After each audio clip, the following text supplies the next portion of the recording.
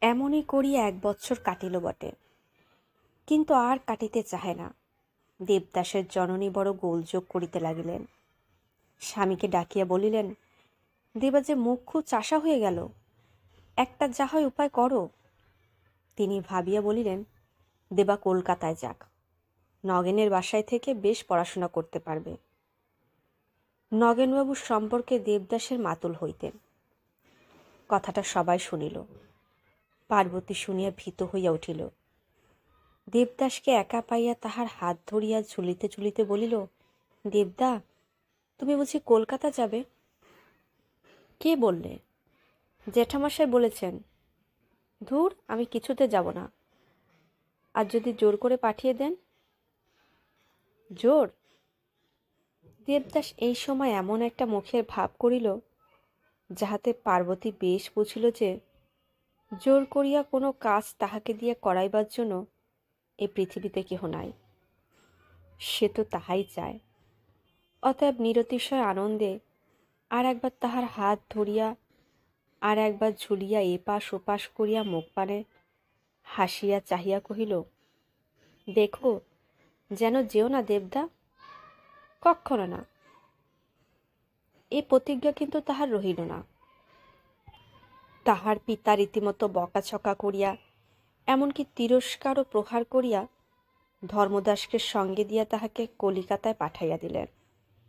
যাইবার দিন দেবদাস মনের মধ্যে বড় ক্লেশ অনুভব করিল। নতুন স্থানে যাইতেছে বলিয়া তাহার বিন্দুমাত্র কৌতূহল বা আনন্দ হইল না। পার্বতী সেদিন তাহাকে কিছুতেই ছাড়িতে চাহে না। কত কান্নাকাটি করিল, কিন্তু কে তাহার কথা শুনিবে? প্রথমে অভিমানে কিছুক্ষণ দেবদাসের সহিত কথা কহিল না। কিন্তু শেষে যখন দেবদাস ডাকিয়া বলিল, পারু, আবার শিগগির আসব। যদি না পাঠিয়ে দেয় তো পালিয়ে আসব। তখন পার্বতী প্রকৃতিস্থা হইয়া নিজের ক্ষুদ্র হৃদয়ের অনেক কথা কহিয়া শুনাইল।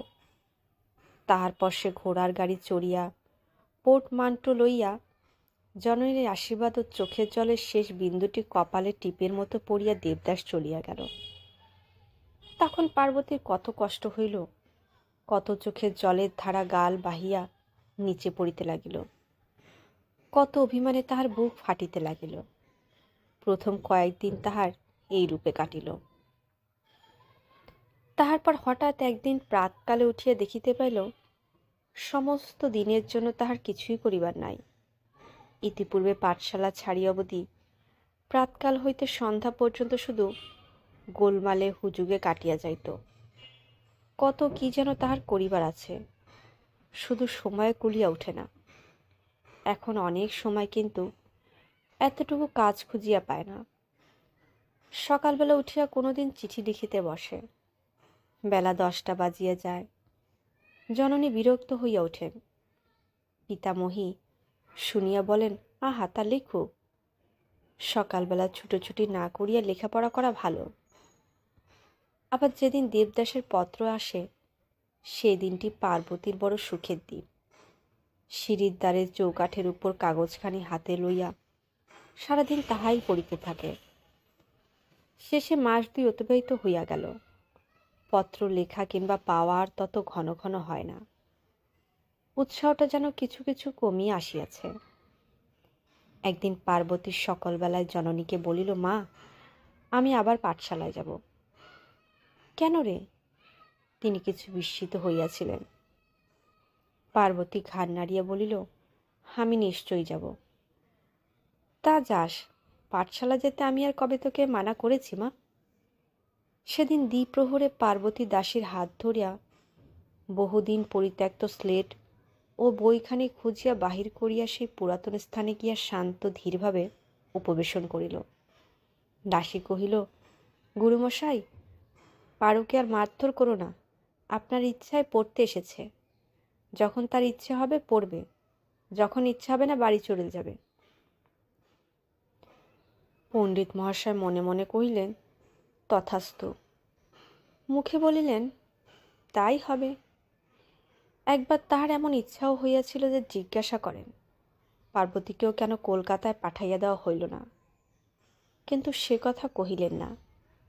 পার্বতী দেখিল, সেইখানে সে বেঞ্চের উপরে সর্দার পুরো ভুলো বসিয়া আছে। তাহাকে দেখিয়া প্রথমে একবার হাসি আসিবার মতো হইল। কিন্তু পরক্ষণেই চোখে জল আসিল। তাহার, পর তাহার ভুলোর উপর বড় রাগ হইল।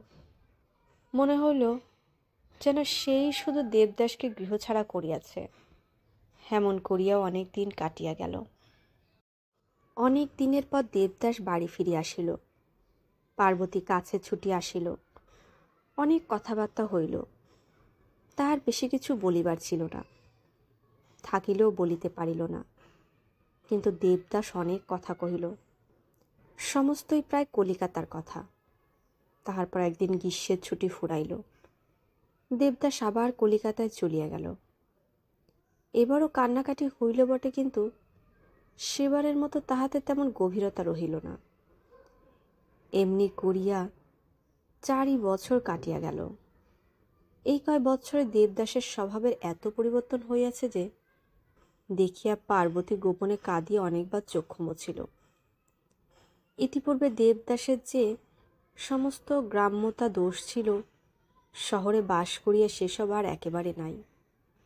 এখন তাহার বিলাতি জুতা, ভালো জামা কাপড় ছড়ি সোনার ঘড়ি, চেন, বোতাম, এসব না হইলে বড় লজ্জা করে। গ্রামে নদী তীরে বেড়াইতে আর সাজ যায় না। বরং তাহার পরিবর্তে বন্দুক হাতে শিকারে বাহির হইতে আনন্দ পায়। ক্ষুদ্র পুঁটি মাছ ধরার বদলে বড় মাছ খেলাইতে ইচ্ছা হয়। শুধু কি তাই? সমাজের কথা, রাজনীতির চর্চা, সভা, সমিতি, ক্রিকেট, ফুটবলে আলোচনা। হায় রে, কোথায় সেই পার্বতী?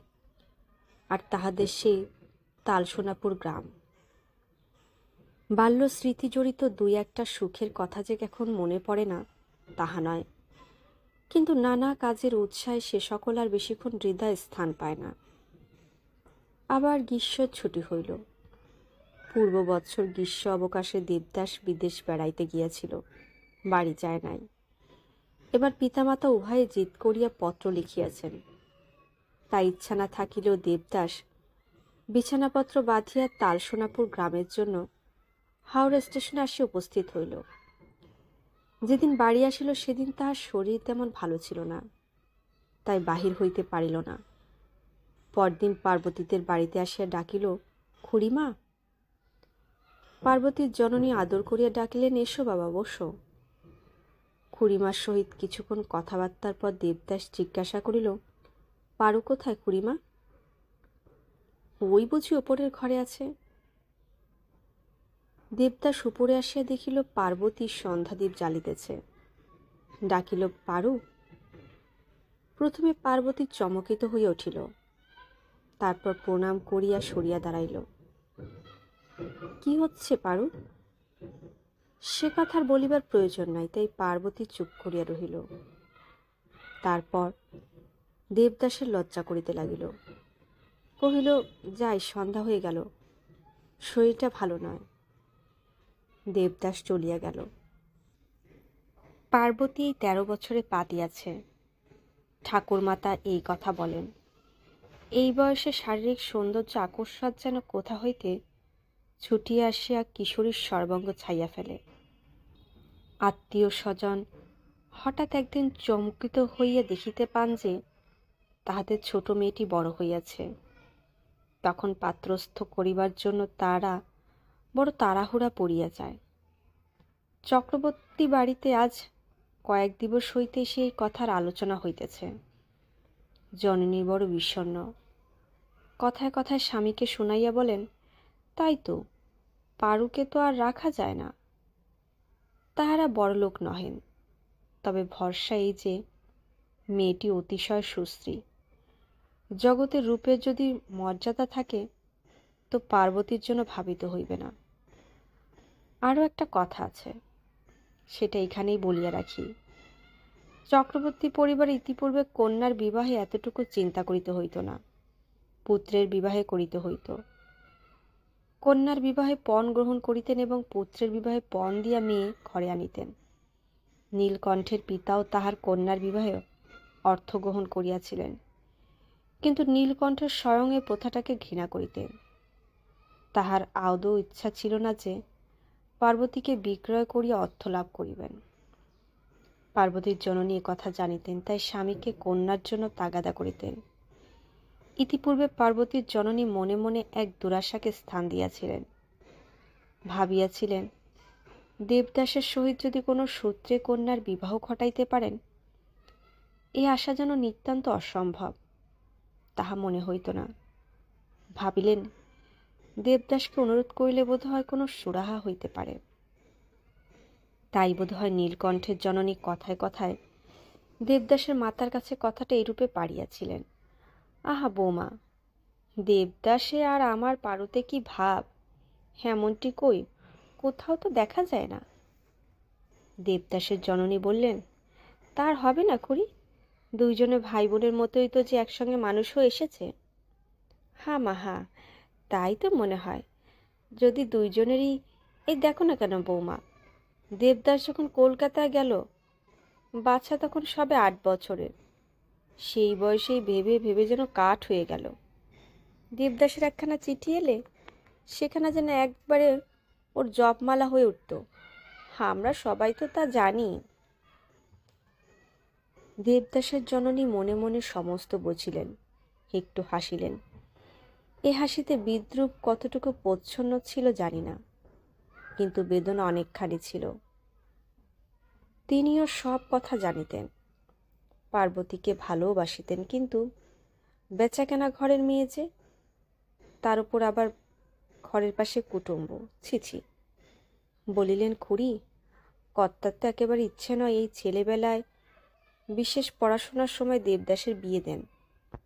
তাই তো কর্তা আমাকে এখনও বলেন, বড় ছেলে দ্বিজ দাসের ছেলেবেলায় বিয়ে দিয়ে কি সর্বনাশটাই করলে? লেখাপড়া একেবারেই হলো না। পার্বতীর ঠাকুমা একেবারে অপ্রতিভ হইয়া পড়িলেন। তবুও কহিলেন, তা তো সব জানি বৌমা, কিন্তু কি জানো? পারু, শেটের বাচ্চা একটু অমনি বেড়েছেও বটে, আর বারণ তো গরণও বটে। তাইতে তাইতে যদি নারায়ণের অমত দেবদাসের জননী বাধা দিলেন, বলিলেন, না করি এ কথা আমি তাকে বলতে পারব না। দেবদাসের এ সময় বিয়ের কথা পারলে তিনি কি আমার মুখ দেখবেন? কথাটা এখানে চাপা পড়িয়া গেল, কিন্তু স্ত্রীলোকের পেটে কথা থাকে না। দেবদাসের জননী কর্তার খাবার সময় কথাটা পারিয়া বলিলেন পারুর ঠাকুমাস তার বিয়ের কথা পেরেছিলেন? কর্তা মুখ তুলিলেন, বলিলেন হ্যাঁ পারুর বয়স হলো বটে। শীঘ্রই বিবাহ দেওয়াই কর্তব্য। তাই তো আজ কথা পেরেছিলেন। বললেন, দেবদাসের সঙ্গে যদি স্বামী ভ্রু কুঞ্চিত করলেন, তুমি কি বললে? আমি আর কি বলব? দুজনের বড় ভাব, কিন্তু তাই বলে কি বেচা কেনা চক্রবর্তী ঘরের মেয়ে আনতে পারি? তাতে আবার বাড়ির পাশে কুটুম্ব ছিছি কর্তা সন্তুষ্ট হইলেন। কইলেন ঠিক তাই। কুলের কি মুখ হাসাবো এসব কথা কান দিও না। গৃহিণী শুষ্ক হাসি হাসিয়া কহিলেন, না, আমি কান দিইনি। কিন্তু তুমিও যেন ভুলে যেও না। কর্তা গম্ভীর মুখে ভাতের গ্রাস তুলিয়া বললেন, তাহলে এত বড় জমিদারি কোনো কালে উড়ে যেত? জমিদারি তাহার চিরদিন থাকুক, তাহাতে আপত্তি নাই। কিন্তু পার্বতীর দুঃখের কথাটা বলি। যখন এই প্রস্তাবটা নিতান্ত অগ্রাহ্য হইয়া নীলকণ্ঠের কানে গেল তখন তিনি মাকে ডাকিয়া তিরস্কার করিয়া বলিলেন, মা, কেন এমন কথা বলতে গিয়েছিলে? মা চুপ করিয়া রহিলেন। নীলকণ্ঠ কহিতে লাগিলেন, মেয়ের বিয়ে দিতে আমার পায়ে ধরে বেড়াতে হয় না, বরং অনেকে আমার পায়ে ধরবে, মেয়ে আমার কুৎসিত নয়। দেখো, তোমাদের বলে রাখল, এক হপ্তার মধ্যে আমি সম্বন্ধ স্থির করে ফেলব, বিয়ের ভাবনা কি? কিন্তু যাহার জন্য পিতা এত বড় কথাটা বলিলেন তাহার যে মাথায় বাজ ভাঙিয়া পড়িল। ছোটবেলা হইতে তাহার একটা ধারণা ছিল যে দেবদাদার উপর তাহার একটু অধিকার আছে। অধিকার কেহ যে হাতে তুলিয়া দিয়াছে তাহা নহে। প্রথম সে নিজেও ঠিকমতো কিছুই বুঝিতে পারে নাই। অজ্ঞাত সারে অশান্ত মন দিনে দিনে এই অধিকারটি এমন নিঃশব্দে অথচ এতই দৃঢ় করিয়া প্রতিষ্ঠিত করিয়া লইয়াছিল যে বাহিরে যদিও একটা বাহ্য আকৃতি তাহার এতদিন চোখে পড়ে নাই, কিন্তু আজ এই হারানোর কথা উঠিতেই তাহা সমস্ত হৃদয় ভরিয়া একটা ভয়ানক তুফান উঠিতে লাগিল। কিন্তু দেবদাসের সম্বন্ধে কথাটা ঠিক খাটানো যায় না। ছেলেবেলায় যখন সে পার্বতীর উপর দখল পাইয়াছিল, তখন তাহা সে পরিপূর্ণভাবে উপভোগ করিয়াছিল। কিন্তু কলিকাতায় গিয়া কর্মের উৎসাহ ও অন্যান্য আমোদ আহ্লাদের মধ্যে পার্বতীকে সে অনেকটাই ছাড়াইয়া দিয়াছিল। কিন্তু সে জানিত না যে পার্বতী তাহার সেই একঘেয়ে গ্রাম্য জীবনের মধ্যে নিশিদিন শুধু তাহাকেই ধ্যান করিয়া আসিয়াছে। শুধু তাই নয়, সে ভাবিত ছেলেবেলা হইতে যাহাকে নিতান্ত আপনার বলিয়া জানিয়াছিল, ন্যায়, অন্যায় সমস্ত আবদারি এতদিন যাহার উপর খাটাইয়া লইয়াছে যৌবনের প্রথম ধাপটিতে পা দিয়েই তাহা হইতে এমন আকস্মাত পিছলাইয়া পড়িতে হইবে না। কিন্তু তখন কে ভাবিত বিবাহের কথা? কে জানিত সেই কিশোর বন্ধন বিবাহ ব্যতীত কোনো মতেই চিরস্থায়ী করিয়া রাখা যায় না। বিবাহ হইতে পারে না। এই সংবাদটা পার্বতীর হৃদয়ের সমস্ত আশা আকাঙ্ক্ষা তাহার বুকের ভিতর হইতে যেন ছিঁড়িয়া ফেলিবার জন্য টানাটানি করিতে লাগিল। কিন্তু দেবদাসকে সকালবেলাটায় পড়াশোনা করিতে হয়। দুপুরবেলায় গরম, ঘরের বাইরে বাহির হওয়া যায় না। শুধু বিকেলবেলাটাতেই ইচ্ছা করিলে একটু বাহির হইতে পারা যায়। এই সময়টাতেই কোনো দিন বা সে জামা জোড়া পরিয়া ভালো জুতা পায়ে দিয়া ছড়ি হাতে ময়দানে বাহির হইত। যাইবার সময় চক্রবর্তীদের বাড়ির পাশ দিয়াই যাইত। পার্বতী উপরে জানালা হইতে চক্ষু মুছিতে মুছিতে তাহা দেখিত। কত কথা মনে পড়িত। মনে পড়িত দুইজনেই বড় হইয়াছে। দীর্ঘ প্রবাসের পর, পরের মতো এখন পরস্পরকে বড় লজ্জা করে। দেবদাস সেদিন অমনি চলিয়া গিয়াছিল, লজ্জা করিতেছিল। তাই ভালো করিয়া কথাই কহিতে পারে নাই। এটুকু পার্বতীর বুঝিতে বাকি ছিল না। দেবদাসও প্রায় এমন করিয়াই ভাবে। মাঝে মাঝে তাহার সহিত কথা কহিতে তাহাকে ভালো করিয়া দেখিতে ইচ্ছা হয়। কিন্তু অমনি মনে হয় ইহা কি ভালো দেখাইবে? এখানে কলিকাতার সেই কোলাহল নাই। আমোদ, আহ্লাদ, থিয়েটার, গান বাজনা নাই। তাই কেবলই তাহার ছেলেবেলার কথা মনে পড়ে। মনে পড়ে, সেই পার্বতী সেই পার্বতী হইয়াছে? পার্বতী মনে করে, সেই দেবদাস এখন এই দেবদাসবাবু হইয়াছে। দেবদাস এখন প্রায় চক্রবর্তীদের বাড়িতে যায় না। কোনোদিন যদি বা সন্ধ্যার সময় উঠোনে দাঁড়াইয়া ডাকে, খুড়িমা, কি হচ্ছে? খুড়িমা বলেন, এসো বাবা, বসো। দেবদাস অমনি কহে, না থাক খুড়িমা, একটু ঘুরে আসি। তখন পার্বতী কোনোদিন বা উপরে থাকে, কোনোদিন বা সামনে পড়িয়া যায়। দেবদাস খুড়িমার সহিত কথা কহে। পার্বতী ধীরে ধীরে সরিয়া যায়। রাত্রে দেবদাসের ঘরে আলো জ্বলে। গ্রীষ্মকালের খোলা জানালা দিয়া পার্বতী সেদিকে বহুক্ষণ হয়তো চাহিয়া থাকে, আর কিছুই দেখা যায় না। পার্বতী চিরদিন অভিমানিনী। সে যে ক্লেশ সহ্য করিতেছে গুণাগ্রহে এই কথা কেহ না বুঝিতে পারে। পার্বতীর ইহা কায়মন চেষ্টা। আর জানাইয়াই বা লাভ কি? সহানুভূতি সহ্য হইবে না। আর তিরস্কার লাঞ্ছনা? তার চেয়ে তো মরণ ভালো। মনোরমার গত বছর বিবাহ হইয়াছে। এখনও সে শ্বশুরবাড়ি যায় নাই, তাই মাঝে মাঝে বেড়াইতে আসে। পূর্বে দুই সখীতে মিলিয়া মাঝে মাঝে এসব কথাবার্তাও হইত। এখনও হয়। কিন্তু পার্বতী আর যোগ দেয় না। হয় চুপ করিয়া থাকে না হয় কথা উল্টাইয়া দেয়।